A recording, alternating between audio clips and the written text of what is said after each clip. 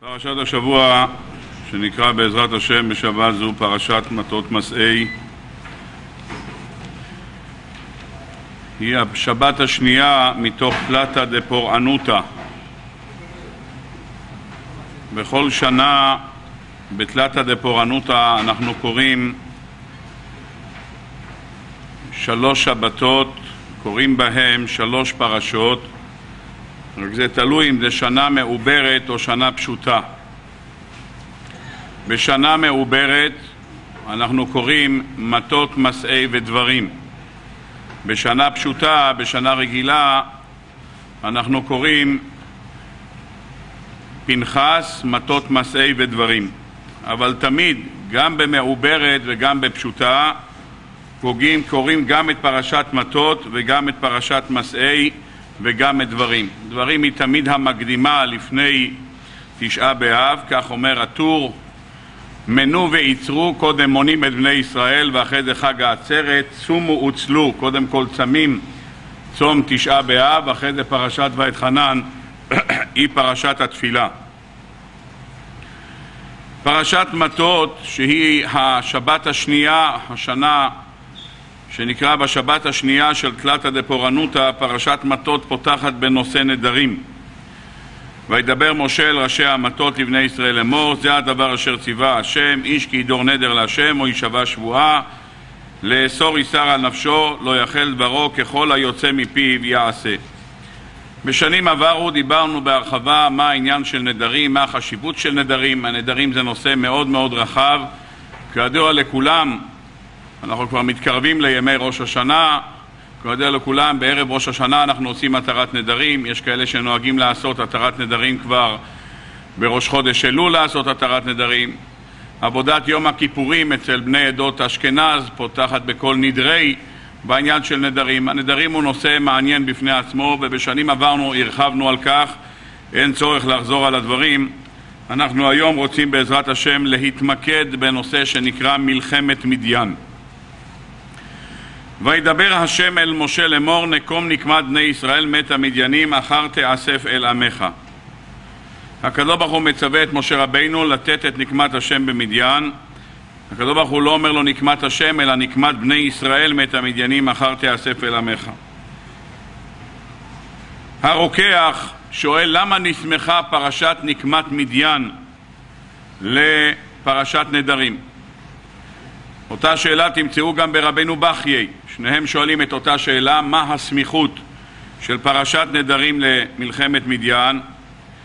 הרוקח כותב שמכאן אנחנו לומדים שיש מצווה לנדור בשעת צרה. בשעה שאדם נמצא במצוקה, הוא נמצא בצרה, יש לו מצווה לנדור, כמו שיעקב אבינו, בשעה שהלך לבית לבן, וידר יעקב נדר לאמור, אם יהיה אלוקים עמדי ושמרני בדרך הזה אשר אנוכי הולך, אז רואים מכאן שבשעת צרה, בשעת מצוקה, יש עניין לנדור. אז גם כאן, בשעה שבני ישראל יוצאים למלחמת מדיין, לכן נסמכה פרשת נדרים לומר לנו שאדם נמצא בצרה בכל שעה ובכל עת, לאו דווקא במלחמה, יכול להיות במלחמה של היצר, יכול להיות שמלחמה מול המעביד שלו, יכול להיות מלחמה, כל מלחמה שהיא, שאדם מנהל, נמצא בצרה, יכול לנדור נדרים ונדרים עוזרים, מבטיחים לקדוש ברוך הוא הבטחות אז זה מסייע לאדם להתגבר, כך כותב הרוקח.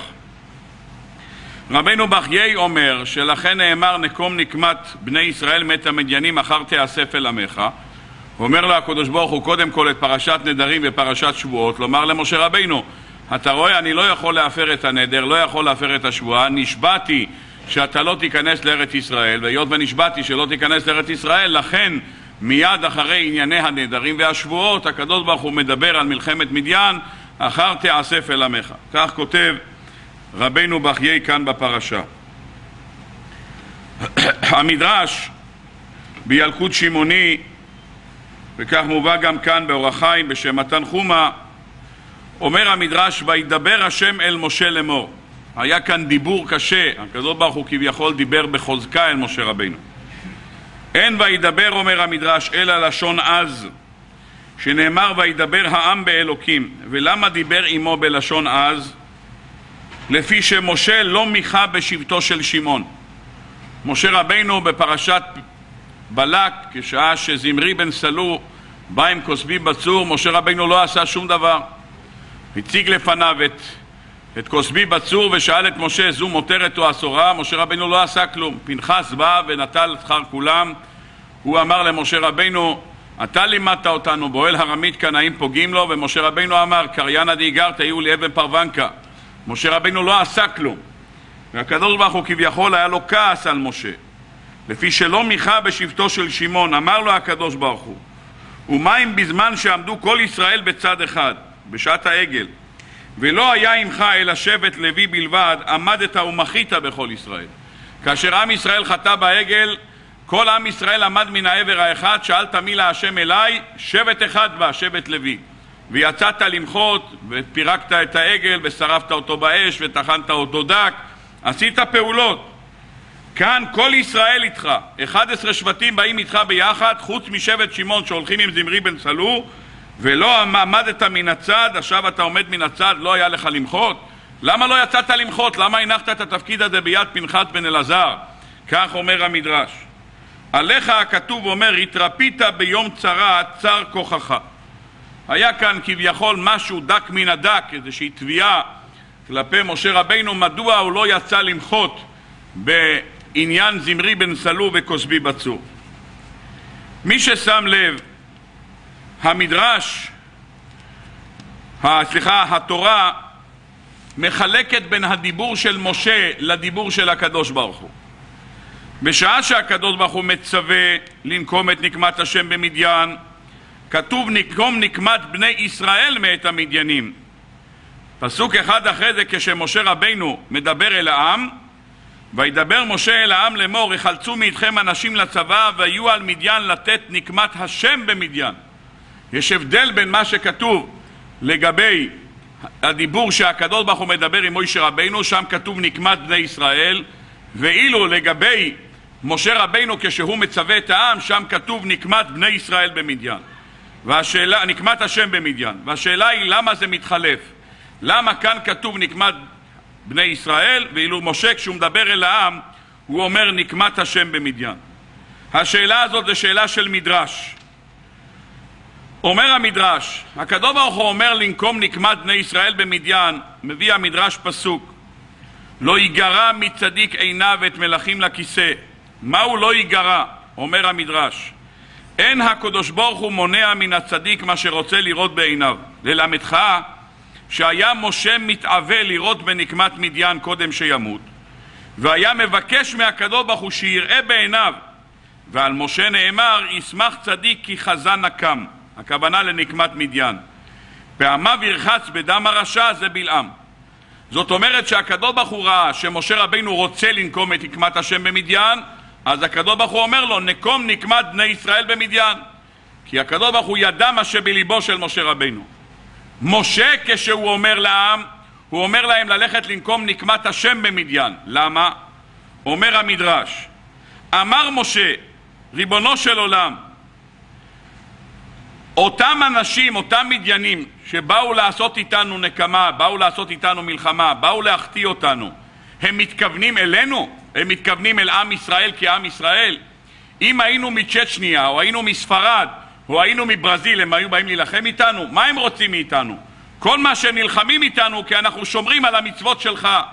היות ואנחנו שומרים על המצוות שלך, על זה הם באים להילחם איתנו. אם היינו אומה אחרת, אומה זרה, הם לא היו עושים לנו כלום. אז זה לא נקמת בני ישראל, זה נקמת השם. הם רוצים לפגוע בך, רק הם לא יכולים לפגוע בך, הם פוגעים בנו. כי אנחנו המייצגים שלך כאן בעולם הזה, מקיימים את המצוות שלך. אז על מה הם הולכים להילחם? כל המטרה שלהם במלחמה זה להילחם כנגד המצוות שאנחנו משמרים. לכן זה נקמת השם במדיין, הנקמה היא כנגד מה שהמדיינים רצו על זה שאנחנו עוברים על המצוות. עד כאן דברי המדרש. מיד לאחר שמשה רבינו מצווה את עם ישראל לצאת למלחמה, אומרת התורה, וימסרו מאלפי ישראל אלף למטה, שנים עשר אלף חלוצי צבא. מה זה וימסרו? אומר כאן רש"י, להודיעך שבחן של רועי ישראל, כמה הם חביבים על ישראל. עד שלא שמעו במיתתו, מה הוא אומר? עוד מעט הושכלוני. ומששמעו שמיתת משה תלויה בנקמת מדיין, לא רצו ללכת. עד שנמסרו על כורחן. הקדוש ברוך הוא אומר למשה רבינו, אחרי מלחמת מדיין אתה לא תהיה בעולם. לכאורה, משה רבינו, אם היה רוצה למשוך את זה, אומר המדרש, יכל למשוך את זה חמישים שנה. משה רבינו, איך שהוא שומע את זה, למרות שהוא יודע שבמיתתו תלוי הדבר, איך שהוא גומר את המלחמה הוא מת, משה רבינו לא מעכב ויוצא למלחמה. הוא יוצא למלחמה, אומרים חז"ל, בוא ותראה, אף על פי שהיה יודע שימות מיד לאחרי זה, לא עיכב. עם ישראל לא רצה ללכת למלחמה, עם ישראל ניסה לעכב את הפטירה של משה. אומרת התורה, וימסרו מאלפי ישראל. מסר אותם משה בעל כוחה, אומר, תלכו, הנקמה היא לא שלי, צריכים לנקום את מה שעשו לקדוש ברוך הוא. יוצא שמשה רבינו לא עיכב, אומרים חז"ל, אבל לא כך נהג יהושע בן נון.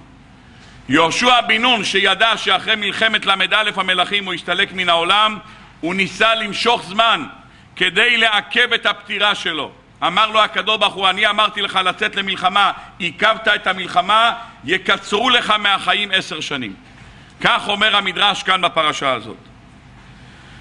אנחנו ברשותכם רוצים היום לעסוק במלחמת מדיין ולהיכנס קצת לעומק של מלחמת מדיין כי אין ולא הייתה כמלחמה הזאת. המלחמה הזאת תופסת בפרשה שלנו עשרות פסוקים. זאת מלחמה שמתייחדת בכמה וכמה דברים שלא היו ולא יהיו. למה הכוונה? הקדוש ברוך הוא אומר למשה ללכת לנקום את נקמת השם במדיין, הוא לא אומר לו איך לעשות את זה. משה רבינו מסדר כאן סידור מאוד מעניין.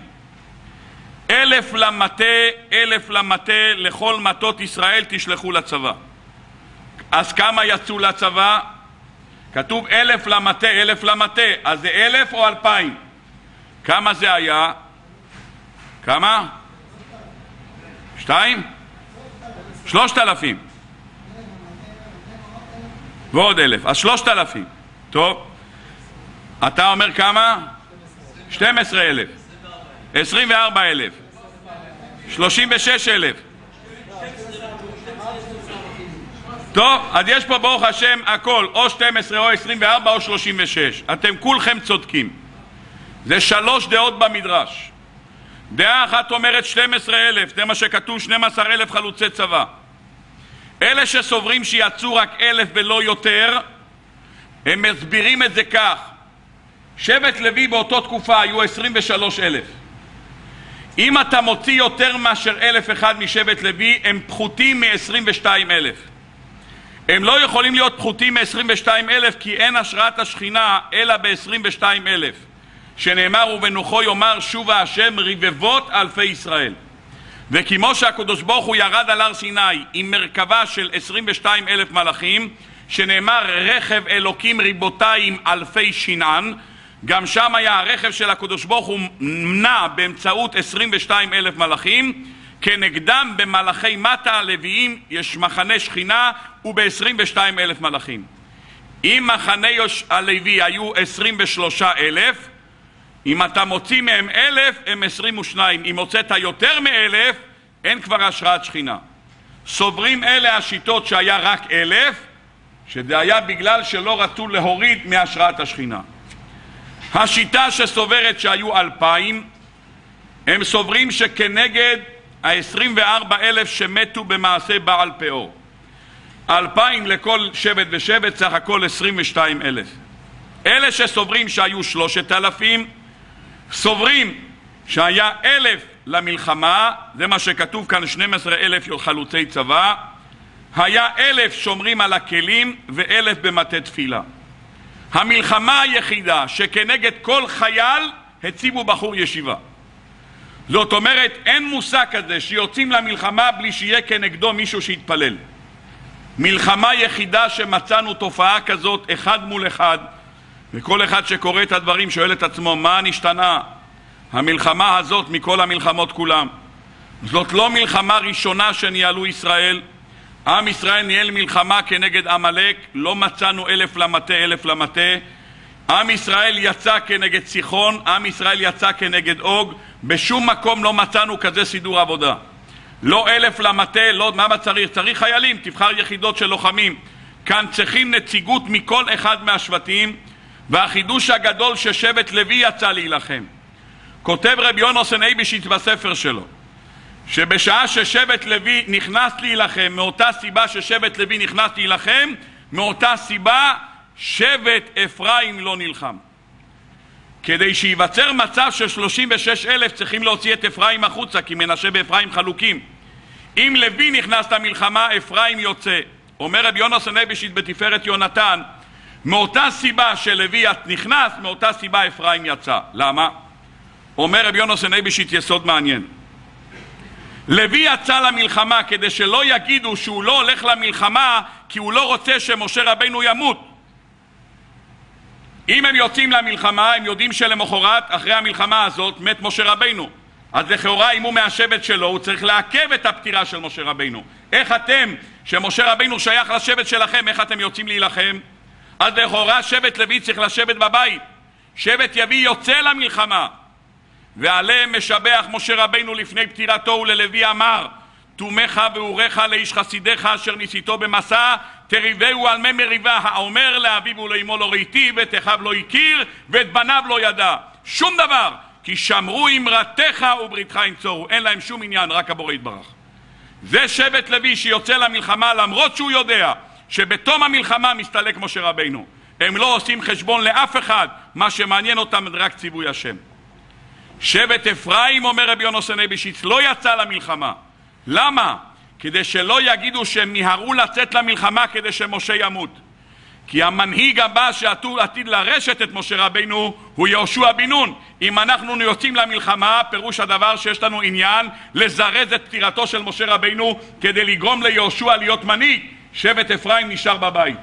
כנגד זה היה בדיוק 36 אלף, לוי נכנס ואפרים יצא. המלחמה הזאת מתייחדת באלף לכל שבט ולא רק באלף לכל שבט. אומר כאן רש"י, אומר רש"י, אנשים צדיקים וכן בחר לנו אנשים וכן אנשים חכמים וידועים. למלחמה הזאת לא לוקחים סתם אנשים, למלחמה הזאת לוקחים רק צדיקים, כך אומר כאן רש"י. אנשים, אומר כאן רש"י, אנשים צדיקים. מצאנו אותו דבר במלחמת עמלק, בחר לנו אנשים, אומר שם רש"י צדיקים. שני מלחמות שהחיילים צריכים להיות צדיקים. השאלה הנשאלת היא למה? צדיקים למלחמה נאמר רק במלחמת רשות.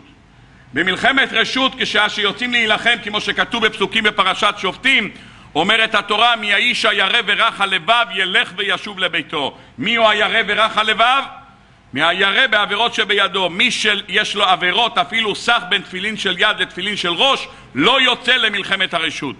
כאן זה לא מלחמת הרשות, זה מלחמת מצווה. למלחמת מצווה מוציאים אפילו חתן מחדרו וכלה מחופתה. מה פתאום למלחמה הזאת צריכים צדיקים? איזה עניין של צדיקות יש למלחמה? צריכים אנשים משייטת 13, צריכים אנשים שיודעים להילחם. מה העניין לקחת דווקא צדיקים? מלחמה מיוחדת שרק צדיקים נלחמים בה. וכנגד כל צדיק שנמצא בחזית מציבים מולו בחור ישיבה שנשאר לשבת וללמוד ולהתפלל.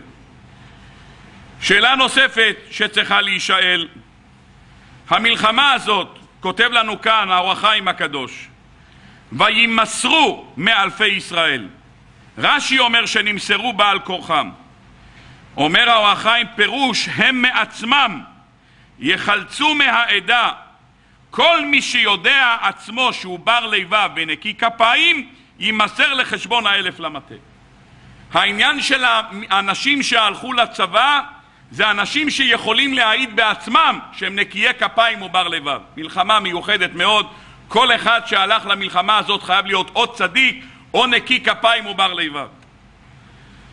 רבותיי, לא מצינו את זה בשום מלחמה. שמא תאמר מלחמת מדיין זה איזה כוח בינלאומי, איזה אדם חזק מאוד, אדרבה. לא מצאנו שהמדיינים האלה הם כאלה כוחות. היו גיבורים יותר גדולים מהמדיינים שיצאו נגדם למלחמה ולא הקימו לא מטה תפילה ולא צדיקים ולא שום דבר. יצאו למלחמה, אנחנו אפילו לא יודעים כמה. למרות שמבחינת הכוחות הגשמיים הם היו יותר חזקים. מאיפה אנחנו יודעים?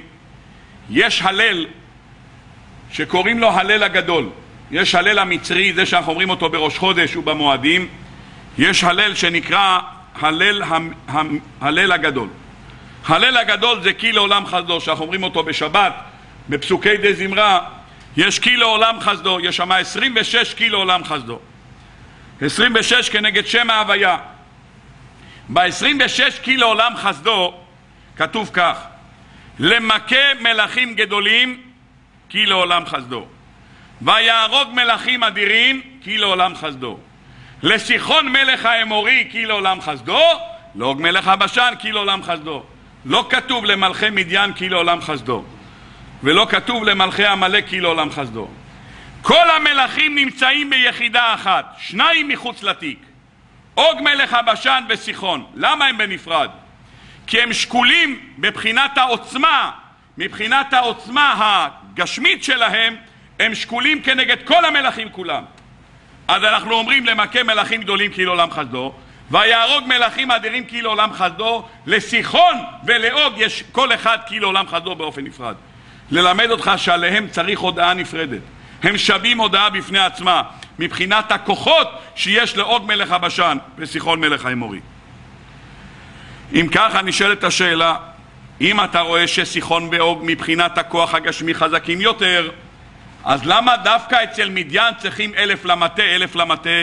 כנגד כל חייל שהיה צדיק ונקי כפיים ובר לבב, צריכים אחד נגדו בתפילה.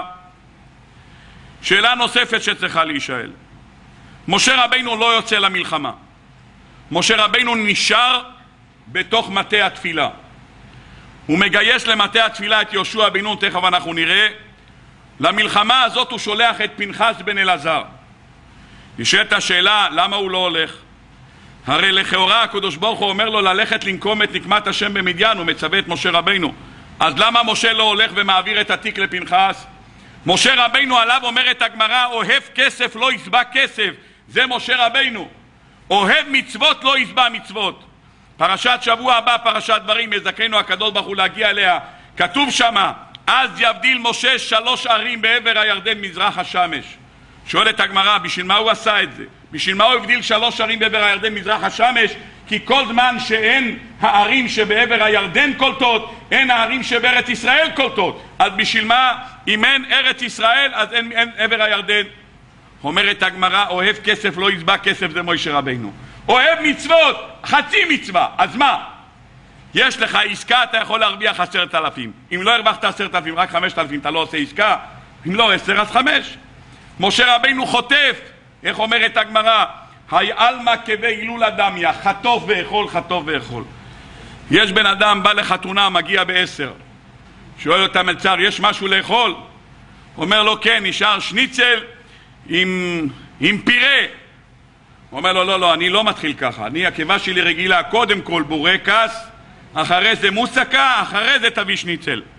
הוא אומר לו, אם היית בא בשמונה, אתה יכול לבקש סדר. אתה באת בעשר, יש שניצל עם פירה. גם השניצל זה נס, כיוון שהוא ניצל מהבעל הבית הקודם, לכן זה נקרא שניצל. אתה רוצה, זה מה יש, אתה רוצה, תאכל אותו, אין יותר מזה. יכול הבן אדם לומר, לא, זה מה שאני רוצה. אומרים לנו חז"ל, אי עלמא כבי הילולה דמיה חטוא ואכול, פללת שמונה עשרה. הגעת לבתחזינה עינינו, אתה עושה כיפוף, אתה כל הזמן חשבת על הביזנס, פתאום אתה מרגיש שאתה מתכופף, אתה לא יודע מה קרה. פתאום אתה שם לב שאתה בתחזינה עינינו. אומר, אוי ויי, כל השמונה עשרה לא חשבתי לפני מי אני עומד בכלל. אומר, טוב, אם כבר לא חשבתי, אז נגמור את זה כבר ככה. לא! חטוא ואכול, חטוא ואכול, עד בתחזינה, הוא תפס אותך. אם יש לך עכשיו שניצל, תתפוס את השניצל. זה מה יש, תיקח, זה כמו חתונה. הגעת כבר ל"הטוב שמך ולך נאה להודות", פתאום נזכרת שאתה בשמונה עשרה, תאכל רק את הגלידה, ישים שלום. תתפוס מה שאתה יכול, אל תגיד לשטן, זהו, תפסת אותי, אני לא נכנס. באת לחתונה ב-11, אין כלום, תאכל מה יש. זה מה שיש, תאכל. זה היסוד של עלמא כבי הילולה דמיה. משה רבינו, היסוד שלו הוא אוהב כסף לא יתבע כסף, זה משה רבינו.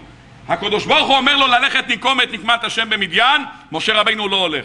הוא שולח את פנחס, שואלים חז"ל במדרש, למה הוא לא הולך? אומרים חז"ל, הכרת הטוב שהיה לו למדיינים. היה לו הכרת הטוב, היות והוא גדל במדיין, ואשתו הייתה ממדיין, והשוור שלו ממדיין, והגיסות שלו ממדיין, אז הוא חייב להם הכרת הטוב. אם הקדוש ברוך הוא אומר לך לנקום, מה אתה אומר הכרת הטוב? משה רבינו למד את זה ממכות מצרים. מכות מצרים, הקדוש ברוך הוא אומר לו לא להכות את היאור ולא להכות את האפר. למה? כי הם הגנו עליך. אמר משה, אם לדומם צריכים להכיר הכרת הטוב, ודאי שצריך להכיר הכרת הטוב לבני אדם. אז משה רבינו לא הלך לנקום. את מי הוא שולח? את פנחס בן אלעזר, שואלים חז"ל, ולמה הוא לא שלח את יהושע? יהושע כבר נלחם כנגד עמלק, הוא כבר היה במלחמה, למה הוא לא מציב את יהושע בראש המלחמה? אומרים חז"ל, הוא לקח את יהושע לתפילה. אמר משה במלחמת עמלק היו איתי אהרון וחור, שנאמר, ואהרון וחור עלו עמו ראש הגבעה מזה אחד ומזה אחד תמכו בידיו. אמר משה, עכשיו אהרון איננו, הוא כבר נפטר. חור נהרג בעגל, אין מי שיתפלל איתי ביחד. יבוא יהושע איתי, הוא יהיה איתי בצדי בתפילה. משה ויהושע מתפללים, שואל המדרש, ולמה לא שלח את אלעזר ולמה שלח את פנחס? אומר המדרש שלוש תשובות רש"י מביא אותם. הראשונה אומר רש"י כיוון שפנחס התחיל במצווה הוא כבר הרג את זמרי בן סלו וכוסבי בצור. תשובה שנייה אומר רש"י לנקום את מה שעשה מה שעשו המדיינים לסבא שלו. פנחס בן אלעזר היה נכד של יוסף הצדיק. כתוב, כך אומרת הגמרא במסכת סוטה דף מ"ג, הוא היה נכד של יוסף שפטפט ביצרו. אמר פנחס, הסבא שלי יוסף, מי מכר אותו למצרים? מי שמכר אותו למצרים היו המדיינים. המדיינים מכרו אותו למצרים. אם הם מכרו אותו למצרים, אני אקח מהם נקמה. תירוץ שלישי אומר רש"י, כיוון שהם היה, פנחס היה משוח מלחמה, לכן הוא יצא למלחמה. אני לא מבין את מה שחז"ל אומרים.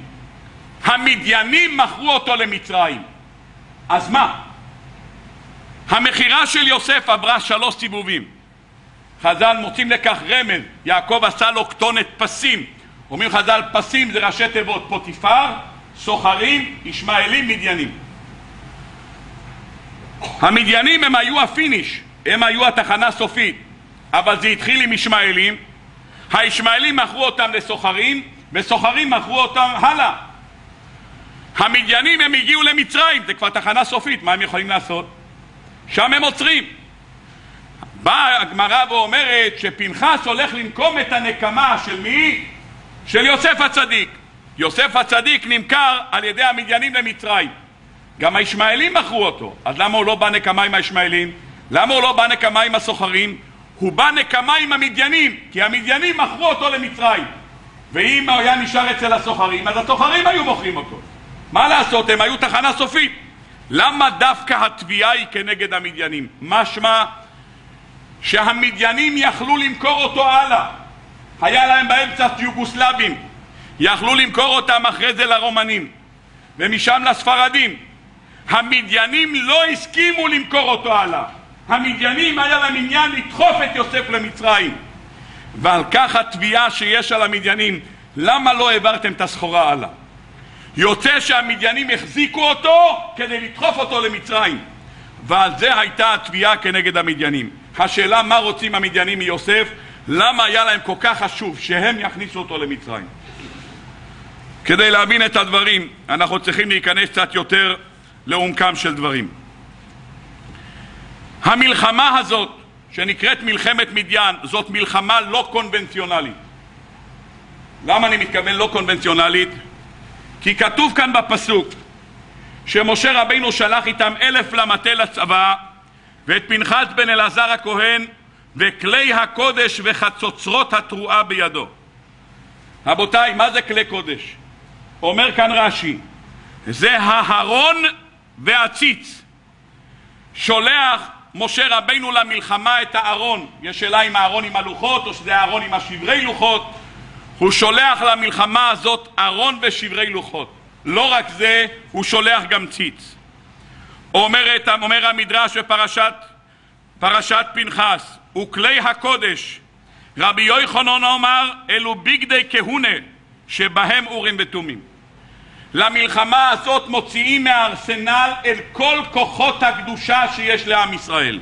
ציץ, אורים בתומים, לוחות, שברי לוחות וארון. אין מלחמה כזאת שהוציאו את כל כלי הקודש, הוציאו את כל האוצרות של הקדושה של עם ישראל. אלף למטה לצבא, אחד לתפילה, אחד מול אחד. אחד יוצא להילחם, אחד שומר במטה תפילה. כל אוצרות הקדושה של עם ישראל יוצאים לקרב הזה כנגד מדיין. מה קרה? בישלמה הציץ, אני מבין למה. רש"י מביא את הדברים בילקוט שמעוני זה ביתר הרחבה. גם מי שיסתכל כאן בתרגום יונוסון בן עוזיאל. הציץ שימש להנחתתו של בלעם. בלעם ידע לומר שמות מפורשים שבאמצעות השמות האלה פורחים באוויר. ישנם דברים כאלה. יש שמות קודש שנותנים כוח לאדם לעוף באוויר. ידע משה רבנו שבלעם יודע לעשות את זה. מי שיסתכל קצת בספרי הקבלה, גם בלק היה לו קשר לעניין הזה כיוון שהוא קשור לציפור. והציפור זה גם כן קשור לעניין של מעוף, אני לא אכנס. כתוב בחז"ל שבלק היה קוסם יותר גדול מבלעם. אחד הקוסמיות שלו שהיה יודע לעופף כציפור. אחד הדברים שהוא ידע. בלעם היה יודע להגיד שמות מפורשים, ככה רש"י מביא, היה עף איתם באוויר. כדי להוריד אותו, היו צריכים להשתמש עם הציץ. הציץ, היו שמים עליו את הציץ, מראים לו את הציץ שעליו כתוב קודש להשם, ומנחיתים אותו. מי שירצה להסתכל, ילקוט שמעוני או תשפ"ה, כותב הילקוט שמעוני שבלעם אמר שם קודש, החז"ל אומרים שם המפורש, הוא פרס את שני ידיו, המריא והגיע לא פחות ולא יותר עד כיסא הכבוד. לשון המדרש בילקוט שמעוני, בא פנחס ושם עליו את הציץ, הוריד אותו למטה, הביא אותו לפני משה, משה דן אותו בסנהדרין והרגו אותו בחרב. כך אומר המדרש בילקוט שמעוני. בתרגום יוינוסון בן עוזיאל כאן בפרשה, על הפסוק שהרגו את בלעם בחרב, אומר התרגום ואני אתרגם אותו ללשון הקודש. כאשר ראה בלעם החוטא את פנחס רודף אחריו, עשה דבר כישוף ופרח באוויר השמיים. הזכיר פנחס שם הגדול והקדוש, ופרח אחריו ואחזו בראשו, והורידו, שלף את החרב וביקש להורגו. פתח בלעם את פיו בדברי תחנונים ואמר לפנחס, אם תקיים את נפשי אני נשבע לך שכל הימים שאני חי אין אני מקלל את עמך. הבטחה של הצדיק בילום. אם אתה תשאיר אותי בחיים אני מבטיח לך לא אקלל את הילדים שלך, את העם שלך. ענה לו פנחס, הלא בן לבן אתה, אתה הרי לבן הארמי. אתה רצית להכרית את יעקב אבינו וירדת למצרים כדי לאבד את זרעו. מיד שלף חרבו מן המתיקה והרגו. דברי ילקוט מביא התרגום יונוס ומנוזיאל כאן בפרשה. רבותיי, אני מבין למה ציץ, אבל למה צריכים ארון קודש בחוץ? למה צריכים בגדי כהן גדול בחוץ? למה צריכים אורים ותומים בחוץ? זה המלחמה, תיקחו חרבות, תיקחו מרגמות. מה אתם לוקחים החוצה את כלי הקודש? שני שאלות אחרונות בסדרה התורה, לא ספרתי את הפסוקים, אבל אני חושב שבפרשה הזאת יש אולי ארבעים או חמישים פסוקים שעוסקים בשלל שהביאו אותם ממדיין. כמה הביאו, איך הביאו, איך חילקו, מה נתנו, מה נתנו ללווים, מה נתנו לאלעזר, חלוקה שלמה. נשאלת השאלה, מה הביאו אותם בשלל מסיחון? אנחנו יודעים מה היה בסיחון? מישהו יודע מה הביאו אותם מסיחון? כמה שלל הביאו מסיחון, מישהו יודע? אה? אבל כמה הם? היה מלחמה עם סיחון, לא? נכנסו לחשבון. נו, אז כמה שלל הביאו משם, מישהו יודע? אף אחד לא יודע. למה לא יודעים? כי לא כתוב. פשוט מאוד. הלכו למלחמה, אין הברכה שרויה, אלא בדבר הסמוי מן העין. נכנסו למלחמה מול עוג מלך הבשן. נו, היה משהו? אתה יודע כמה שלל היה? אתה לא יודע כמה שלל היה. למה? לא יודעים. נלחמו נגד עמלק. היה שלל? כנראה שהיה שלל. אז למה לא כתוב כמה? לא כתוב כמה. את מי זה מעניין כמה? מעניין אותך כמה עיזים הביאו? הביאו כמה שהביאו, עיזים. המלחמה שהקדוש ברוך הוא מפרט בתורה לפרטי פרטים. כמה הביאו מזה וכמה הביאו מזה וכמה אחוז מזה הלך לזה וכמה הלך ללוויים וכמה הלך לאלעזר וכמה. מה, בשביל מה? בשביל מה החלוקה הזאת? לומדים מכאן את כל דיני טהרת כלים וכל איך אתה מטהר את הכלים הכל לומדים מכאן גאולי מדיין למה התורה מפרטת בארבעים פסוקים מה נעשה כאן בנושא הזה של השלל במדיין? השאלה האחרונה במקבץ הזה לפני שנתחיל את השיעור הוא בדברי מדרש שמופיע בשיר השירים, לא נקרא אותו במלואו, מי שירצה יעיין במדרש בפרשת ד' בשיר השירים. כתוב במדרש שלמלחמה הזאת יצאו רק אנשים שלא הניחו תפילין של ראש לפני תפילין של יד. אומר המדרש, רבונה אומר, המדרש הולך על הפסוק שעלו מן הרחצה. אומר המדרש, רבונה אומר, שלא הקדים אחד מהם תפילין של ראש לתפילין של יד. שאילו הקדים אחד מהם תפילין של ראש לתפילין של יד, לא היה משה משבחן ולא היו עולים משם בשלום. ואומר שהיו צדיקים ביותר. הרי אמרנו קודם שמי שיצא למלחמה היו צדיקים. אמרנו שמי שיצא למלחמה היה נקי כפיים ובר לבב. אז מה השבח הגדול שלא הביאו קודם, לא הניחו תפילין של ראש לפני תפילין של יד? אני חושב שבתוך ה-200 יהודים שיושבים כאן, או 300 שיושבים כאן, יכול להיות שיהודי אחד קרא לו אי פעם בחיים שהוא בטעות הוציא מהשקית את השל ראש לפני של יד. אני חושב שיש פה יהודים שבחיים זה לא קרה להם. אני כמעט בטוח. כמעט בטוח. למה? כי כל אחד יודע איפה מונח תפילין של יד, איפה תפילין של ראש, באופן אוטומט. גם אם באמצע הלילה אתה מכניס את היד, אתה יודע איפה זה נמצא. אלא אם כן מישהו ביקש ממך להניח את התפילין ואז הוא הפך לך את הסדר, ואז אתה עושה אוטומט ואתה מוציא משהו אחר. אם אף אחד לא נגע לך בשקית אתה הפעם לא תטעה. אז מה השבח הגדול? למלחמה הזאת יצאו אנשים רק מי שלא הניח של ראש לפני של יד. נשאלת השאלה מה מונח כאן. רבותיי, בזה החילונו, נתחיל לבאר מה זה מלחמת מדיין, בסייעתא דשמיא, שלב אחרי שלב, ובעזרת השם נבין גם, אנחנו נכנסים לחודש אב, נכנסים גם לאבלות של תשעת הימים, ונחבר בעזרת השם את מלחמת מדיין עם תשעת הימים. בספר נתיבות שלום של האדמו"ר מסלונים, האדמו"ר הקודם מסלונים, יש לו ספר נפלא שנקרא נתיבות שלום. בספר נתיבות שלום יש לו שלושה מאמרים על מלחמת מדיין. שם הוא עומד על יסוד שממנו לקחתי את הלב של השיחה ונוכל בעזרת השם לבנות מה שהוא מתכוון. אולי נקדים לו הקדמה. עם ישראל היו בעיתות צרה וצוקה הרבה פעמים. עם ישראל היה בעיתות צרה כשעם ישראל עבר בים סוף ועוזה השר של מצרים מגיע לכיסא הכבוד ואומר לקדוש ברוך הוא ריבונו של עולם מה? הם יעברו בים והמצרים יתעברו על מה ולמה? הללו עובדי עבודה זרה והללו עובדי עבודה זרה מה נשתנו אלו מאלו? והקדוש ברוך הוא אומר לו הם לא עבדו עבודה זרה אמיתי מתנהל ויכוח עם ישראל נמצא לאחר חטא העגל עם ישראל חוטא בעגל עם ישראל נמצא במצב שמגיע עמלק המרחק של 400 פרסה כדי להילחם בישראל. ויבוא עמלק וילחם ישראל ברפידים.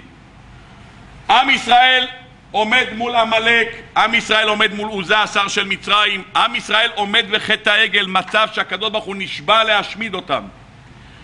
כותב הזוהר, לא היה באף אחד מהמקומות סכנת הכחדה לעם ישראל חוץ מאותם ימים שבלעם רצה לקלל אותם.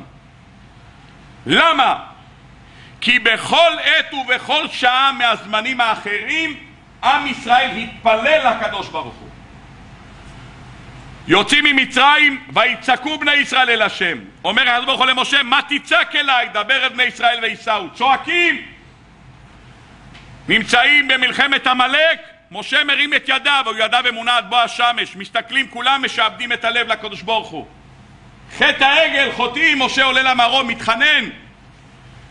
מגיעים עם ישראל, מואב ומדיין, מתחברים להם יחדיו, בלק ובלעם, שני מכשפים, בלק מכשף יותר גדול מבלעם, אומרים חז"ל, הוא היה קוסם הרבה יותר גדול, מתחברים להם שני אנשים, מפלצות, עם כוחות עצומים מתוך מטרה אחת להשמיד את עם ישראל והנביא מיכה אומר לנו אין לכם מושג ממה ניצלתם עמי זכור נא מה יעץ עליך בלק ומה ענה אותו בלעם בן באור מן השיטים ועד הגלגל למען דעת צדקות השם. אין לך מושג מה השניים האלה רצו לעשות. ואלמלא שהקדוש ברוך הוא לא כעס באותם ימים, לא נשתייר מעם ישראל שריד ופליט. דברי חז"ל הקדושים בגמרא במסכת ברכות, בגמרא במסכת סנהדרין. אם הקדוש ברוך הוא היה כועס, אם הוא לא היה משנה את ההנהגה שלו, לא היה נשאר מעם ישראל שריד ופליט. למה? כי עם ישראל לא ידע בכלל שהשניים האלה זוממים להרוג אותו, ואף אחד לא התפלל. אם הם היו יודעים ששניים מסתובבים למעלה ומנסים כל הזמן לקלוע בהם, הם היו צועקים. אף אחד לא ידע. שניים אלה שהם הקודקודים של כוחות הטומאה, מנסים לתפעל את כל הכוחות שלהם כדי להשמיד את עם ישראל. והנביא מסביר לנו, אם אנחנו לא קולטים, נחזור על זה אלף פעמים. עמי זכור נא! הוא מתחנן, אל תשכח את החסד. יכלת למות, יכלת לא להיות פה, לא היה עם ישראל, אלמלא שהקדוש ברוך הוא לא כעס. אם ככה נוכל עכשיו בעזרת השם להבין מה מונח כאן. נקדים עוד הקדמה קצרה. יש מושג שנקרא זה לעומת זה עשה אלוקים. זה פסוק שמופיע בספר קהלת, שם אומר שלמה המלך זה לעומת זה עשה אלוקים. כותב הרמח"ל אין מושג כזה שיהיה 51% כוח לקדושה ו-49% לטומאה. תמיד 50 מול 50 בדיוק. אם יהיה 50.01 לטובת הקדושה ו-49.99 לכיוון הטומאה, ניטלה כוח הבחירה מעם ישראל. הבחירה היא כשזה אחד מול השני, זה לעומת זה עשה אלוקים. רבותיי, הנשמה שהקדוש ברוך הוא ייעד מששת ימי בראשית, שהיא תהיה הנשמה שתיתן את התורה לעם ישראל ומשה רבינו. משה רבינו זאת נשמה מאוד מיוחדת, היא לא צריכה ייחוד של הורים כדי לרדת לעולם. וילך איש מבית לוי ויקח את בת לוי, הוא לא מיוחס אפילו להורים שלו, הוא מיוחס לשבט, דיברנו על זה בעבר. כנגדו בורא הקדוש ברוך הוא בטומאה את בלעם הרשע. זה לעומת זה עשה האלוקים. בדיוק באיזון מוחלט של זה לעומת זה. אם ככה יוצא שכמו שיש משה רבינו אשר ידעו השם פנים אל פנים, יש מולו את בלעם יודע דעת עליון. הוא יודע והוא יודע, שניהם בסוד הדעת, כותב הזוהר הקדוש. כמו שיש איזון בין בלעם לבלק, בין, סליחה, בין בלעם למשה, משה הוא יסוד הקדושה, בלעם הוא יסוד הטומאה.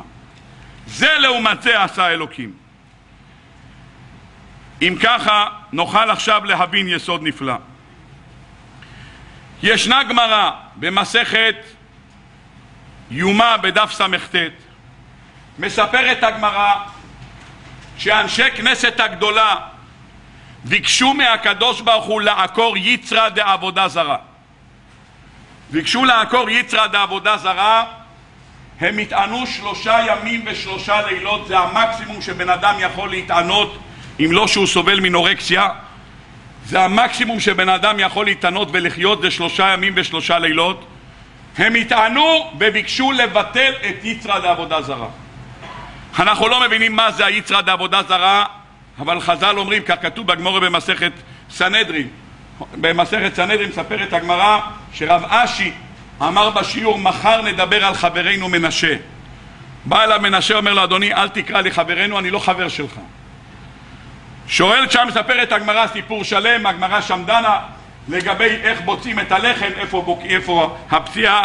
דנה שם הגמרא ומנשה אומר את זה לרב אשי אומר לו מאחר דחכים תוכו לאי אתה כזה חכם איך עבדת אבוי דסורי אומר לו מנשה תאמין לי אם היית בדור שלי היית מרים את שיפולי החליפה שלך ורץ אחרי עבודה זרה אני הלכתי אבל לא רצתי אין לנו מושג מה זה כוח של אבוי דזורי התענו שלושה ימים ושלושה לילות אומרת הגמרא ויצא מקודש הקודשים גור של אש אמר להם זכריה, זה יצרא דעבודה זרה. מאיפה הוא יוצא? מאיפה יוצא יצרא דעבודה זרה? מקוידש הקודושים אין לך איפה להיות? יצרא דעבודה זרה בקוידש הקודושים? מה התשובה? זה לעומת זה עושו האלוהיקים. מקור הקדושה קודש הקודושים כשהוא יוצא משם נופק בן גוריה מבית קודש הקודושים הוא נופק בן נורן אם נלך עוד שלב אומר הגאון מווילנה בוא ותראה. בשעה שביטלו את יצרי דאבוי דזורי פסקה הנבואה מעם ישראל. אין יותר נביאים. למה אין נביאים? כי כל מה שהקדוש ברוך הוא נתן נביאים מול נביאי הבעל והשרה אם אין יצרי דאבוי דזורי אין יותר נביאים. לא צריכים אותם. כי זה לעומת זה עשה האלוקים נלך רבותיי עוד שלב כמו שיש שעיר להשם ביום הכיפורים יש כנגד זה שעיר לעזאזל ביום הכיפורים. אם אתם רוצים ללכת עוד שלב אברום אבינו גדול המאמינים בעולם אברום או עברי אברום מן העבר האחד וכולם מן העבר השני כותב הרמב"ם אברום אבינו גייר אלפים ורבבות מעם ישראל. הוא צירף לעם ישראל אלפים ורבבות אומר, אומרת, אומרים חז"ל אברום אבינו היסוד של הקדושה הוא כנגדו בטומאה. מי הוא כנגדו בטומאה? נמרוד. נמרוד הוא החל להיות גיבור ציד. הוא ממריד את העולם כנגד הקדוש ברוך הוא. אם יש אברום אבינו בקדושה יש מולו את נמרוד בטומאה. ביום שמת אברום אבינו באותו יום מת נמרוד ויבוא עשיו מן השדה והוא עייף. אומרת הגמרא ממה הוא התעייף הבחור הזה? הוא היה ג'ינג'י היפראקטיבי. ממה הוא פתאום התעייף? אומרים חז"ל הוא התעייף כי באותו יום הוא עשה חמש עבירות ביניהם רצח. את מי הוא רצח? את נמרוד. הוא בא ליעקב אבינו יום קודם, אומר לו יעקב תשמע אני הולך כל יום מכות עם נמרוד לא הולך לי. יש לו כוח לבחור הזה. תן לי איזה עצה אתה הרי ישיב ובוחר אשתם יושב ואומרים תן לי איך מורידים אותו מהכביש. אמר לו תשמע העצה היחידה תוריד לו את החליפה. הוא לובש חליפה של אדם הראשון תוריד לו את זה תגיד לו. בלי ידיים, בלי הורים, בלי בגדים. תוריד. תוריד את החליפה. הוריד את החליפה בא למרוד אומר אדוני בלי בגדים. מכות בלי בגדים. הוריד את החליפה באותו יום חיסל אותו. זה הכותונת, זה הבגד שלקח איתו עשיו זה המתנה, הבגד הגדול שנשאר מאברום אבינו, מאדם הראשון. באותו יום שהלך אברום אבינו לבית עולמו, באותו יום גם נמרוד הסתלק, כי זה לעומת זה עשה אלוקים. מיד צמחו להם שני כוחות חדשים. באותו יום שאברום אבינו נפטר, עשיו יצא לתרבות רעה. אז עשיו קיבל את כוחות הטומאה, ומולו קיבל יעקב אבינו את כוחות הקדושה. באותו יום שנקבר יעקב אבינו, נקבר גם עשיו, כי זה לעומת זה עשה אלוקים. לאחר ההקדמה הזאת נוכל בעזרת השם עכשיו להבין את היסוד. אומר הקדוש ברוך הוא למוישה רבינו אתה נמצא בעולם, מולך נמצא בלעם. אם במלחמה הזאת של מדיין אני הולך להרוג את בלעם, אם בלעם ימות במלחמה, אתה יכול ללכת הביתה. אחר תאסף אל עמך. כל מה שאתה נמצא בעולם זה איזון כנגד בלעם. אם הרגו את בלעם בחרב, באותו יום אתה נאסף אל עמך. אין לך יותר מה לחפש פה. כי כל מה שנכנסת לעולם כשיש מולך כוחות של טומאה מול קדושה, אם אין משה אין בלעם.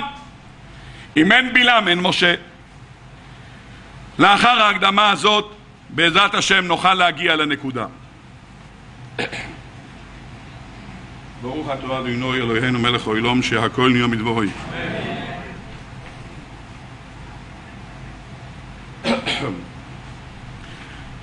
כותב לנו הספר נתיבות שלום בשם הזוהר.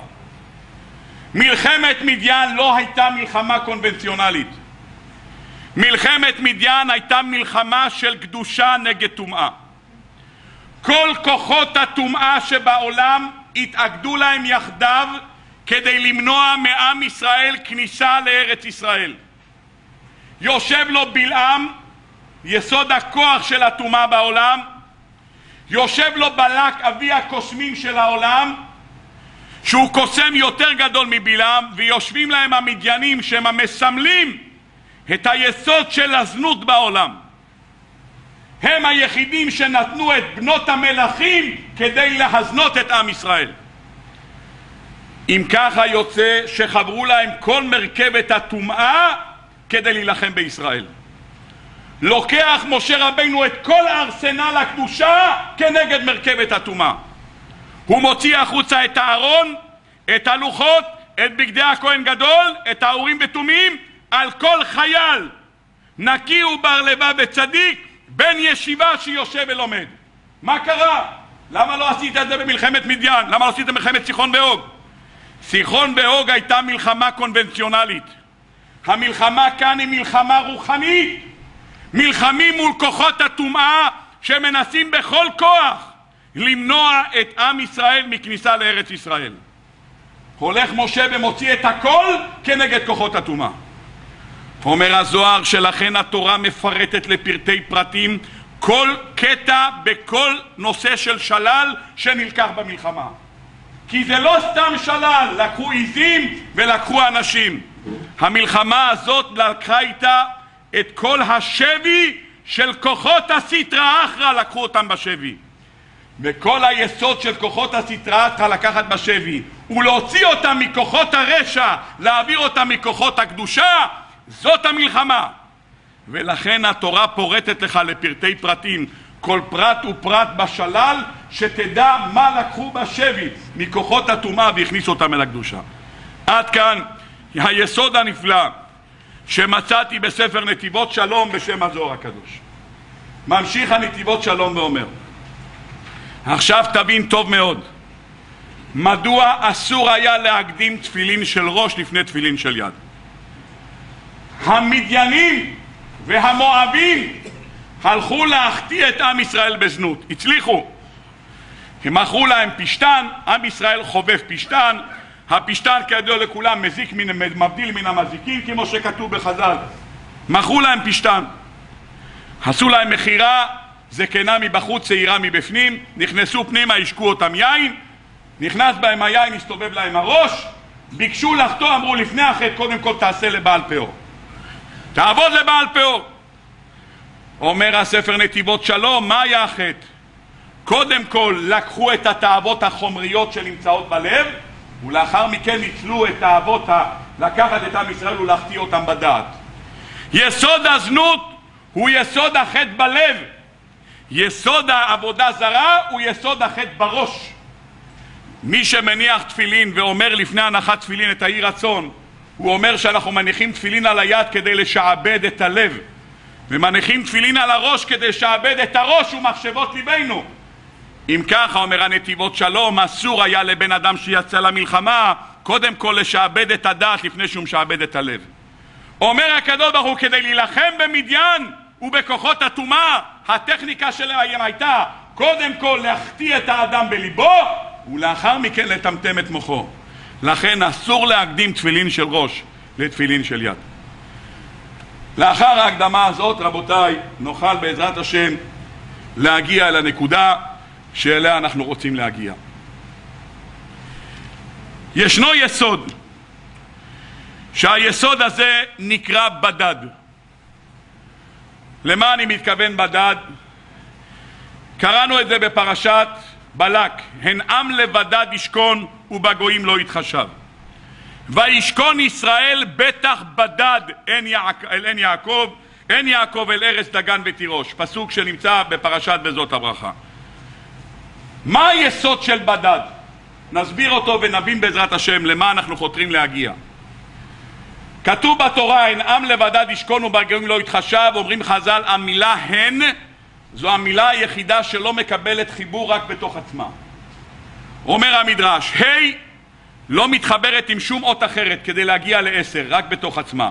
א' מתחבר עם ט' נהיה עשר, ב' עם ח' נהיה עשר, ג' עם ז' נהיה עשר, ו' עם ד' נהיה עשר, ה' חייב להתחבר עם ה' כדי להיות עשר. שנלך לעשרות, אומר המדרש, י' מתחבר עם צדיק נהיה מאה, כ' מתחבר עם פ' נהיה מאה, ל' מתחבר עם ע' נהיה מאה, ס' ומ' מתחבר נהיה מאה. הנון אין לו למי להתחבר, רק בינו לבין עצמו. הן, כמו שה' ונון לא יכולים להגיע לשלימות רק בתוך עצמם, ככה עם ישראל לא יכול להגיע לשלימות, אומר הקדוש ברוך הוא, רק כשהוא מכונס בתוך עצמו. אומר בלק, בלעם לבלק, תשמע חביבי, אני רוצה לקלל, ותאמין לי שאני יודע לקלל. זה המקצוע שלי, יש לי ניסיון עשיר, יש לי בבית, יש לי כמה אתה רוצה תעודות שאתה רוצה. אבל יש כאן בעיה אחת. על ישראל זה לא עובד. למה? הן עם לבדד ישכון, אז לא הולך לקלל אותם. מתי יצליח לקלל? כשהם יהיו מעורבים בגויים. אומר הנציב, אין עם לבדד, כשהם בדד הם יכולים לשכון בטח בטח בדד. הם יכולים להיות לבד, הם מבוטחים. מתי הם בסכנה? ובגויים, כשהם מתערבים הם גויים, לא יתחשב, הם לא נחשבים לכלום. מתי החשיבות שלהם? כשהם בבדידות. אם מעורבים עם אומה אחרת, הם סיימו את החיים שלהם. אם ככה נוכל עכשיו להגיע. רבותיי, בואו נשים לב שלב אחרי שלב. עם זה אנחנו הולכים הביתה לתשעה באב. תשמעו את הרעיון. תשמעו מה מונח כאן ביסוד הנפלא שרבותינו מגלים לנו. ממציא הרעיון, הוא לא ממציא הרעיון אלא זה שהביא לעם ישראל את הרעיון של ההיבדלות מן האומות היה יעקב אבינו. אברהם הביא גרים. מה זה הביא גרים? אלפים ורבבות של גרים, אומר הרמב"ם, הביא אברהם אבינו. יצחק אבינו גייר גרים. וישב יצחק בארץ מגורי אביו, אומרים חז"ל, מה אברהם מגייר גרים, אף יצחק מגייר גרים. יעקב אבינו סגר את מושג הגרים. אני לא מגייר יותר גרים. הוא לא מדבר עם אף גוי, הוא לא רוצה שגויים יסתכלו עליו וידברו עליו וידעו, או, אם יש כזה יעקב אבינו אני רוצה להתגייר. כותב המשך חוכמה בפרשת וישלח יעקב אבינו אפילו לא מדבר עם השוור שלו עם לבן אתה עשרים שנה אצלו בבית, תנסה לגייר אותו יעקב לא מדבר איתו אף מילה, כל הסימנים זה בפרצופים ראיתי את פני אביכם ואיננו כתמול שלשום. איך אומרים? הוא על הפנים. תראה, הוא לא אמר לך כלום? לא מדבר איתו. דבר נפלא, לא מדבר עם השוור. שום דבר. למה אתה לא מדבר? לא מדבר עם גויים. כשרחל גנבה לו את התרפים, יעקב כעס עליה. תני לו לעבוד עבודה זרה, מה את מתערבת? מה את מתערבת? אומר המשך חוכמה. היחיד שלא מגייר גרים והוא נגד גיור גרים זה יעקב אבינו. יעקב אבינו עושה ויברח. הוא בורח מלבן, לבן משיג אותו אחרי שבעה ימים. מה הוא אומר לו? אדוני, הבנות בנותיי, הבנים בניי, וכל אשר אתה רואה לי הוא. מה הוא רוצה בזה? אומרים בעלי ההגדה של פסח, מה אנחנו אומרים בכל ליל הסדר? צא ולמד מה ביקש לובון או מה רצה לובון או ארמי? לעקור את הכל? איך הוא יעקור את הכל? א' כל הוא הפך להיות בלעם, ובלעם ניסה לקלל את ישראל ולהשמיד אותם. חוץ מזה שניסה לבן לקשר את עצמו עם בני ישראל. הבנות בנותיי, הצאן צאני, כולם צאצאים שלי, כולם יש בהם גויים. אומר לו יעקב נדה, אין דבר כזה. אין לך שום קשר לא עם הבנות שלך, לא עם הבנים שלך, שום דבר. אתה מנותק מזה. אני לא רוצה להגיד לכם, להתעמק בזה, אבל כתוב ברב צודק הכהן, שנערדנו למצרים לכור הברזל, כור הברזל זה כור היתוך. זה כדי לנקות את המעט סיגים שלבן כן הצליח להכניס בנו. ברזל, כותב רב צודק, בלהה, רחל, זלפה, לאה. הכור הזה היה לזכך את כל ארבע האימהות כדי לא להשאיר בהם שום דבר, שום זכר מלבן. זה היסוד של ביקש לבן לעקור את הכל, זה מה שהוא רצה. הולך יעקב אבינו וכורת איתו ברית. מה הברית? ויאמר לבן, עד הגל הזה ועדה המצבה הזאת, אם אני לא אעבור אליך את הגל הזה, ואם אתה לא תעבור אליי את הגל הזה ואת המצבה הזאת, מה זה גל עד? קורא לו יעקב אבינו גלעד. מה זה גלעד? אומרים המפרשים גלעד זה חיבור של שתי מילים, גילוי ועדות. יש כאן גילוי ועדות, אומר לו יעקב, אתה עד פה. אני לא מתקרב אליך, אתה לא מתקרב אליי, נפרדים כידידים, אין לנו שום קשר בינינו. לא רק זה, אתה לא תעבור אליי את הגל הזה ואת המצבה הזאת לרעה. כתוב בחז"ל שלבן מת. הוא מת והוא חזר בחזרה בגלגול לסיבוב נוסף בתור בלעם הרשע. כך כתוב במדרש תנחומה וכך כתוב בתרגום יונוסון ונוזיאל בפרשה שלנו, הקראנו את זה מקודם, שבלעם מבקש על נפשו, הוא מבקש מפנחס שלא יהרוג אותו, מה הוא אומר לו פנחס? אתה לבן הארמי שרצית להרוג אותנו עוד במצרים. הוא בלעם, הוא לבן. בלעם הולך לקלל את ישראל, הולכת איתו האתון, פעם אחת היא יורדת בשדה, בפעם השנייה במשעול הכרמים. פתאום מגיעים למקום שאין דרך למטות לנטינו שמאל, ואיפה נתקעת הרגל שלו? בקיר. איזה קיר? אומר המדרש תנחומה, בקיר שבנה לבן הארמי ביחד עם יעקב. אתה הולך לקלל, הרי נשבעת שאתה לא תקלל, לא יעשה איתך רע. אומר המדרש, הדאו דכתיב ויד העדים תהיה בו בראשונה לאמיתו. הם עדים, זה גל עד, זה גל שהוא עד, העד דופקת לו את הרגל. אתה אמרת, אז הגלעד הזה דופק את הרגל. רבותיי, אם ככה נוכל עכשיו בעזרת השם להיכנס לעניין. כתוצאה מהברית הזאת שכרת יעקב עם לבן, קרה דבר בישראל. כתוב בחז"ל שבזכות זה, או בגלל זה, לא בזכות אלא בגלל זה, שיעקב כרת איתו ברית, נכנסו לתורה שני מילים בארמית, והארמית קיבלה מקום בקדושה. אלמלא הוא היה כורת איתו ברית, היה הולך לדרכו והיה ממשיך להתנהג אל לבן כמו שהוא עשה קודם, המלאך הרי בא אליו ומזהיר אותו, הישמר לך! הוא ידבר עם יעקב מטוב ועד רע. אז מה אתה כורת איתו ברית? לבן אומר, הבנות נוטה הבנים אמרתי לו, אדוני, שום דבר לא, לחיים טובים ושלום. אין לי עסקים איתך. בשביל מה קראתי איתו ברית? כתוב בחז"ל, בזה קיבלה הארמית אחיזה בתורה הקדושה. שני מילים בתורה הקדושה כתובים בארמית, יגר סהדותא, ויעקב קרא לו גלד. התורה הקדושה הכניסה את שני המילים האלה, יסוד המילה ארמית, נכנסו לתורה, אלמלא זה לא היה שום מילים בארמית, הכל היה על טהרת לשון הקודש. רבותיי, אם ככה נוכל עכשיו להיכנס לעומק הדברים. הנציב אומר לנו, הם עם לבדד ישכון. כשאנחנו לבדד, הקדוש ברוך הוא משרה את שכינתו עלינו ומגן עלינו. ובגויים, אם אנחנו מעורבים בגויים, לא יתחשב, אין לנו שום חשיבות. יעקב אבינו הוא אבי הרעיון של היבדלות מן האומות. מה עושה יעקב אבינו אחרי שהוא נלחם עם עשיו? ויחן את פני העיר, אומר המדרש, הוא בנה לו תחומין. מה זה תחומין? אני תוחם תחום שבת, אף אחד לא יוצא מהמקום הזה. עם ישראל תחום, עם ישראל סגור. אברום אבינו הוא בדיוק להפך. אברום אבינו מתקן, קיים, אומרת הגמרא בעירובין, אפילו עירוב תבשילין. מה זה עירוב תבשילין? עירוב תבשילין פירוש הדבר שאתה יכול לצרף עוד ועוד אנשים לסעודה. זה הרעיון של אברום אבינו.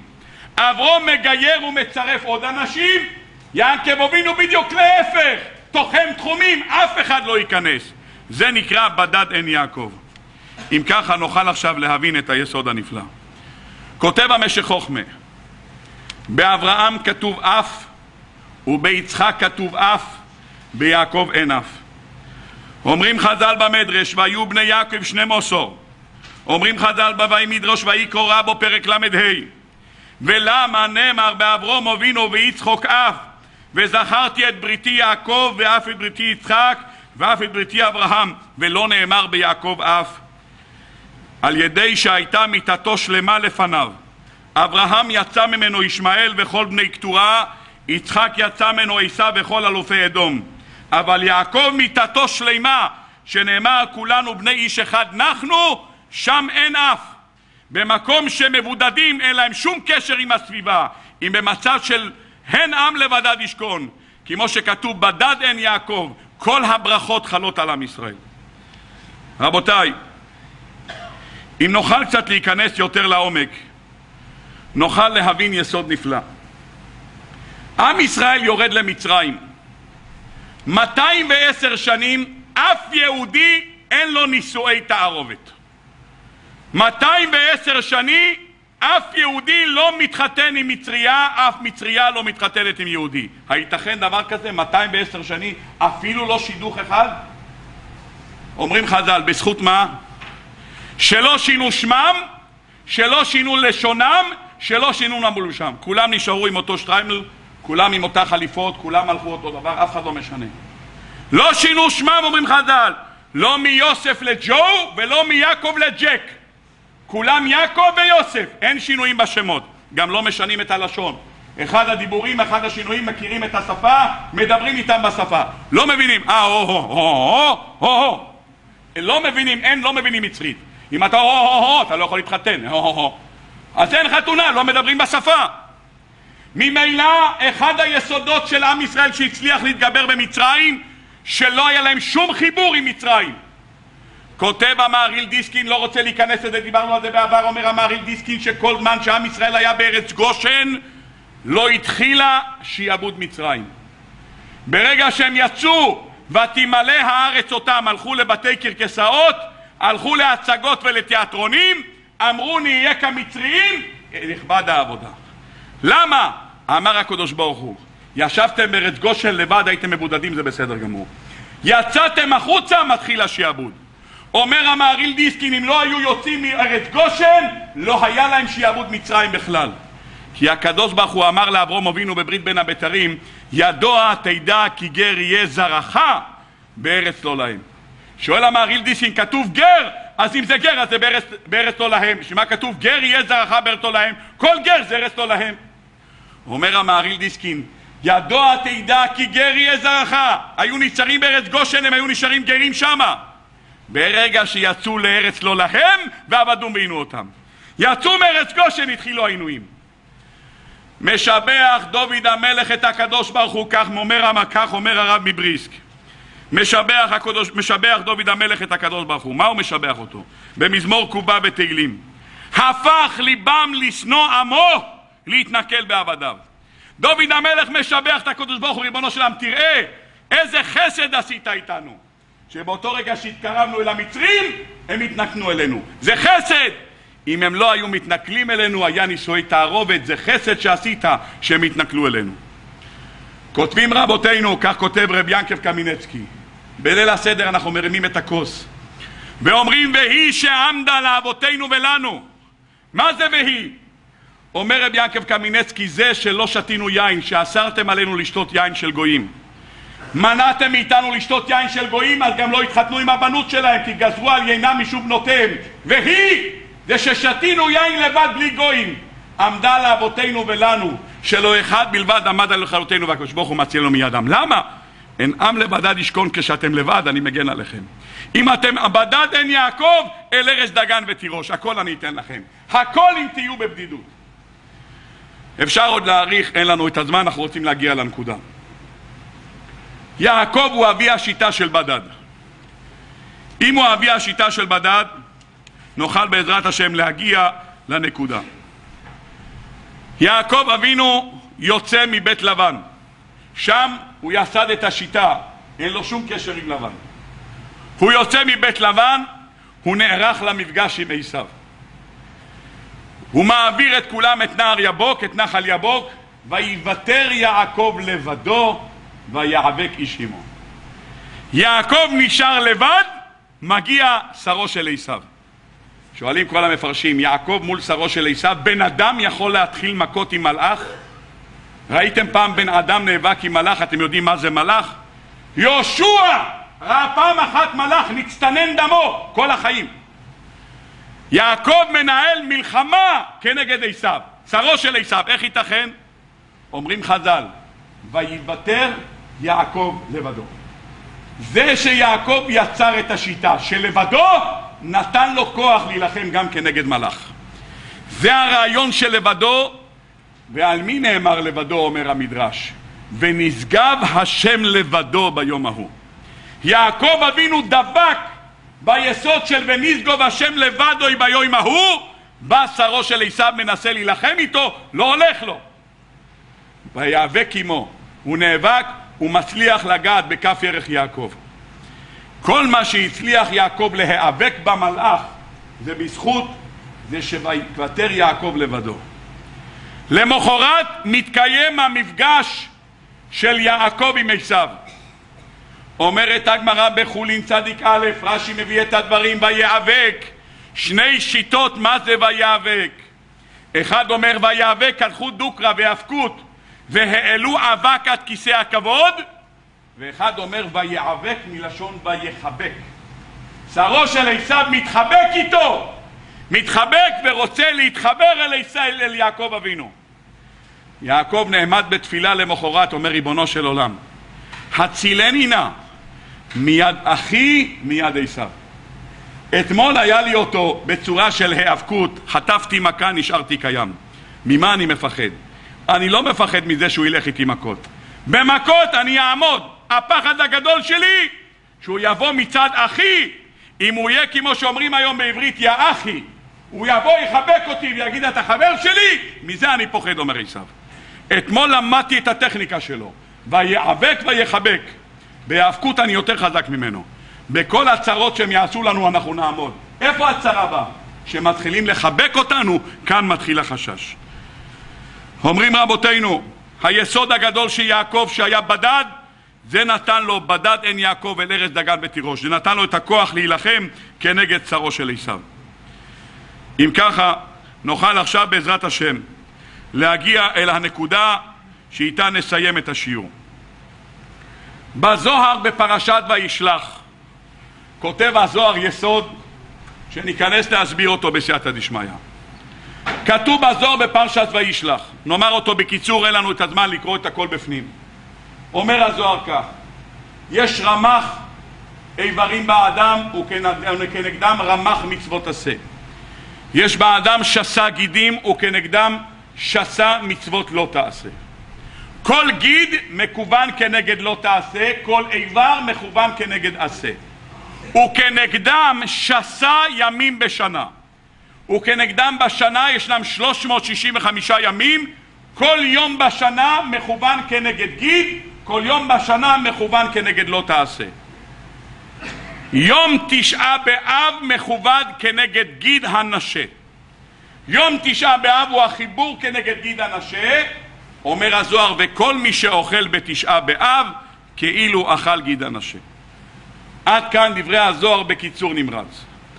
מה הקשר? פשוט מאוד. כל יום בשנה מכובד כנגד גיד, גיד הנשה מכובד כנגד תשעה באב. ט' באב זה היום שמחובר כנגד הגיד שנקרא גיד הנשה, נמצא בירך, הכל מובן טוב מאוד. היינו יכולים ללכת הביתה עכשיו ולסיים את העניין כך, אבל מצאתי מרגלית ששווה לא מאות מיליארדים של דולרים, הרבה יותר. מצאתי מרגלית, פשוט התמוגגתי מנחת. שגיליתי השבוע חתם סופר שמופיע בפרשת דברים בדרשה לזין באב שנת תק"פ. כותב החתם סופר, אני אקריא לכם את המילים שלו פחות או יותר, לא את כולו, ואז נבין מה הולך כאן. המלאך נאבק עם יעקב בליל תשעה באב.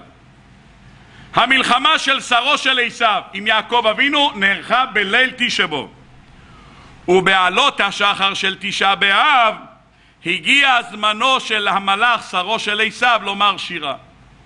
ביום הזה תשבו זה היום שהיום הראשון ששרו של עשיו אומר שירה בתשבו ויעקב ברח מלבן בערב ראש חודש אב. יעקב יצא מבית לבן, היה יום ראשון, ערב ראש חודש אב, ולאחר שבעה ימים השיגו לבן, והוא בו' באב. ובלילה ניגי ז' באב, בא המלאך אל לבן בחלום ואמר לו, ישמר לך. וביום ז' באב כרתו ברית ביניהם זה עם זה. הגלעד שהם הקימו היה בז' באב. ונענש על זה יעקב שכרת עמו ברית, שהרי נאמר מיד אחרי זה, וירא יעקב ויצר לו. הוא נבל מלבן, מה אתה מפחד מלבן? הקדוש ברוך הוא אמר לך אני אשמורך, אני אחזיר אותך הביתה, מה אתה מפחד? הפחד שנכנס לו בלב זה בגלל שהוא כרת ברית עם לבן.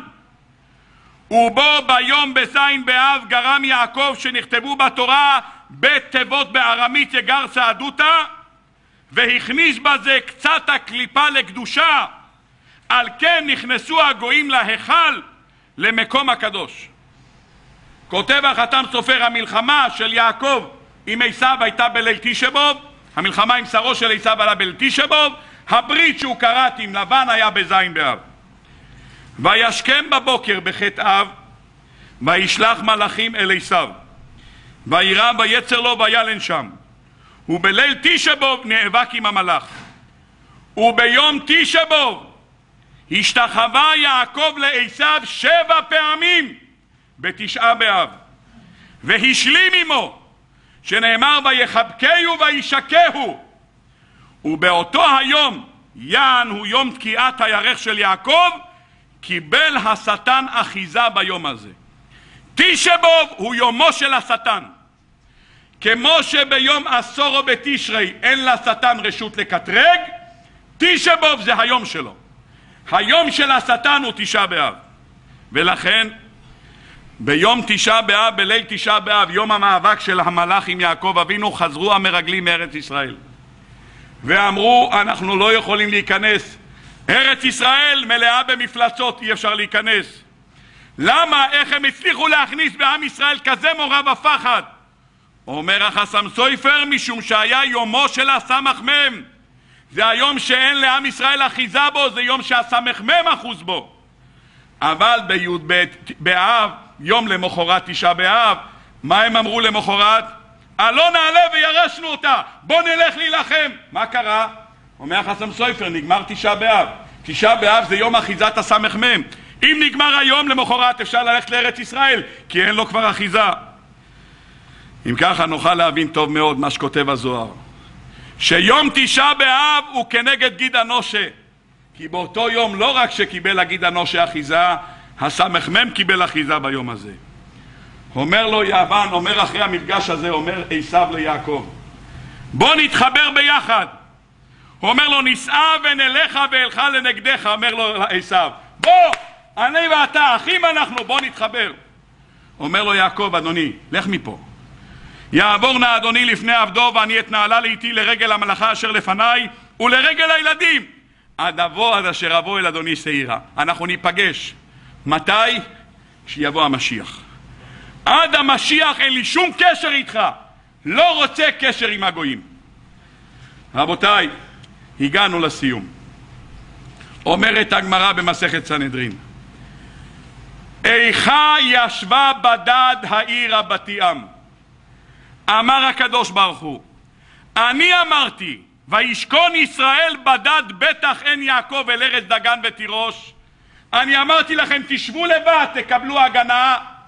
אתם התערבתם בגויים, לכן העיר רבת ים. איכה ישבה בדד העיר רבת ים. אם אתם לא מבודדים את עצמכם מאומות העולם, אז אתם תשבו בדד. אחד ישבה בדד. איך כל זה מתחבר לתחילת השיעור? פשוט מאוד. כתוב במפרשים שהמדיינים היה להם שיטה להחטיא את עם ישראל ולערב אותם בגויים.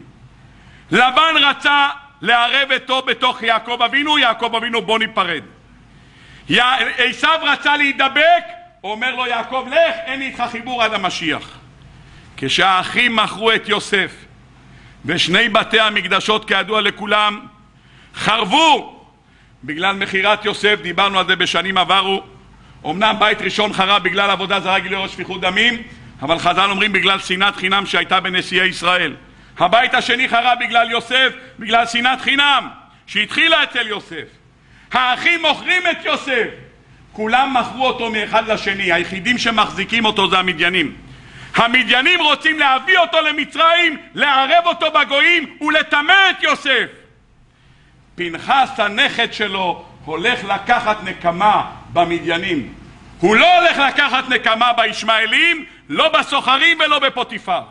הוא הולך לקחת נקמה במדיינים, שהמדיינים רצו לערב את יוסף בתוך מצרים.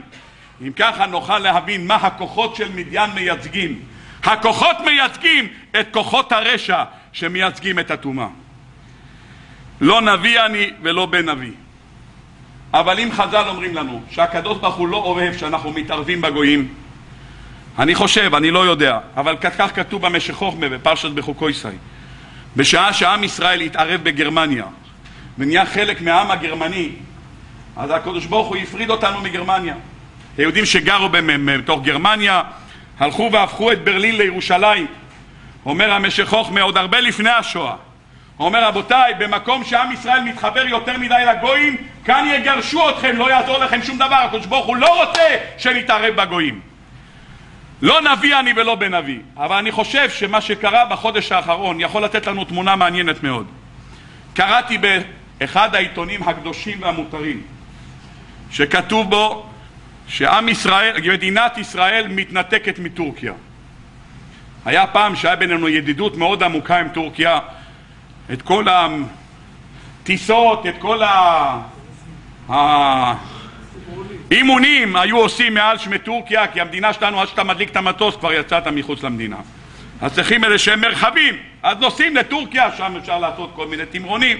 עכשיו, איך קוראים לו הרדואן הזה? סגר את הבסטה, אומר, אתם לא עוברים פה מעל האוויר שלי. טוב, מה קרה? לפני חודש, או משהו כזה, היה לנו פה איזה מרמרה אחד. הגיע איזה מרמרה אחד, והמרמרה הזה סיבך את ישראל מול העולם.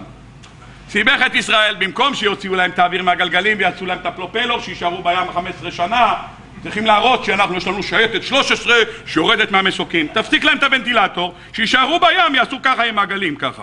יגיעו עוד ארבע שנים. טוב, עם ישראל רוצה להראות שיש לו שייטת 13, והראו לו איך שזה נהיה מ-13 שייטת 19. בקיצור, פיינינג איט. כתוב בעיתונים, עיתונים קדושים, רק מה שמותר. כתוב שסוחרי התיירות הזמינו בטורקיה חצי מיליון חדרים לקיץ הקרוב. יולי-אוגוסט הזמינו 500 אלף לינות בטורקיה. רבותיי, אתם יודעים מה זה 500 אלף לינות בטורקיה? כל בן אדם נוסע לשלושה ארבעה ימי מרגוע, תעשו חשבון כמה אנשים זה. למעלה ממאה או מאתיים אלף ישראלים נוסעים לטורקיה. מה יש לחפש שם? קברי צדיקים? מה יש לחפש שם? מה נוסעים שם? בבתי המלון כולם דוברי עברית, בשוק כל השלטים בעברית, דיברתי עם אנשים שיש להם עסקים בטורקיה. נהגי מוניות יודעים עברית, כולם ערבים, כולם, כולם עברית. הפכנו להיות אנשים שנוסעים לשם, אוכלים חזיר, אוכלים נבלות וטרפות, מה שאתם רוצים עושים שם. אומר הקדוש ברוך הוא, תשמע, הם יותר מדי מחוברים לטורקיה. צריכים לקחת להם קצת איזה מרמרה אחד, להיפרד כידידים מה שנקרא. מרמרה אחד קטן וסלמת טורקיה. אין טורקיה עד שיהיה משהו חדש, ייקח זמן. עד שיבשלו משהו חדש. הקדוש ברוך הוא לא אוהב שאנחנו מעורבים יותר מדי עם אומות העולם. זה היסוד שכתוב פה. לא שאני נביא, לא שאני בן נביא, אבל זה מה שכתוב כאן לכאורה, לא סתם כך קרו הדברים. כותבים לנו רבותינו, הקדוש ברוך הוא אוהב אותנו, אין עם לבדד ישכון. הקדוש ברוך הוא אוהב אותנו כבדד אין יעקב. הקדוש ברוך הוא לא רוצה אותנו מעורבים בגויים. הוא רוצה שנתנתק מאומות העולם. אומר הקדוש ברוך הוא, אתה יודע מתי נבנה את בית הבחירה. אין עם לבדד ישכון, לא רציתם, קיבלתם איכה ישבה בדד. איכה ישבה בדד, אם אתם רוצים באמת להיות בדד אין יעקב, כל השפע שבעולם מובטח לכם.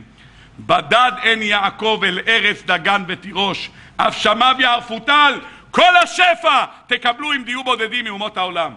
אם נדע להתנתק מתרבות הגויים, נדע להתנפק מאומות העולם, יזכנו הקדוש ברוך הוא לראות בבניין ביס הבחירו במהירו ביומנו אומן ואומן.